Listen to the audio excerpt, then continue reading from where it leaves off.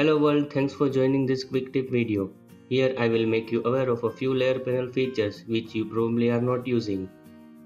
In this document I have 5 cards in one layer, rectangle 1 to 5 from bottom to the top. Right now this blue card is at the bottom of the stack and the green on the top. I want to flip their stack order. So it would make the order rectangle 1, 2, 3, 4, 5 from top to bottom. To do that, open Layer Panel's flyout menu. Reverse order. Most of the time you will see this grayed out. Reason is all the options here are meant to be used for layers, not for selected objects. That is why first you will have to highlight all the layers you wanna reverse the order of. So I will highlight the rectangle 5 and shift click on rectangle 1 to automatically highlight in between shapes, just like we do in Photoshop layers. Notice that I am not selecting any object. Open flyout menu. Reverse order is now clickable. Now we have got the order rectangle 1 to 5 from top to bottom. You won't need this feature in every project but it is better to know about its existence. When you follow this tutorial of mine, you will need this reverse order option in case you apply the height in negative values. This video link is in the description box below. If you want to import the Illustrator file in Adobe After Effects, then you will have to put all the objects into the individual layers. For that, there is an option called Release to Layers. Highlight the parent layer containing all the child objects. Then click on Release to Layers sequence.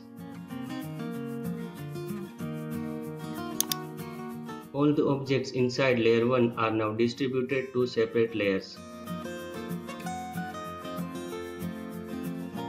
Let's see what release to layers build option does. It distributes all the child object to the separate layers but creates a cumulative sequence. Each layer contains a copy of all the underneath objects. This is useful for creating frame by frame animation or GIF sequences. Another option called collect in new layer does exactly what it says. It moves highlighted object layers to a sublayer.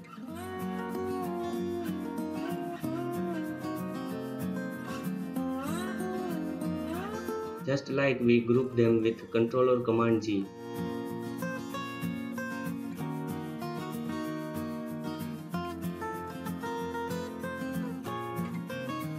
You might know that you can isolate any single object or group by right click, isolate selected path.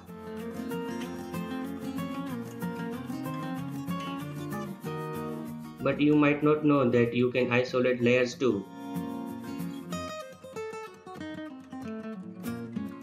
It makes the objects easy to edit without interference of surrounding objects.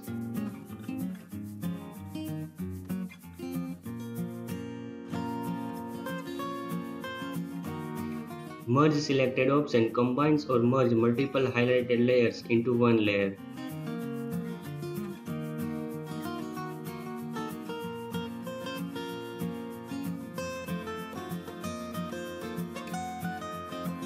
Flatten artwork is quite similar to merge selected, but for flatten artwork we don't have to highlight any layer because here we are talking about everything in the document.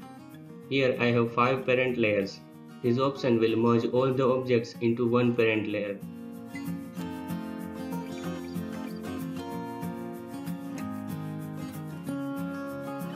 That was it for the video. If you learned something new then please leave a like and subscribe to see more videos in future. Thank you for watching.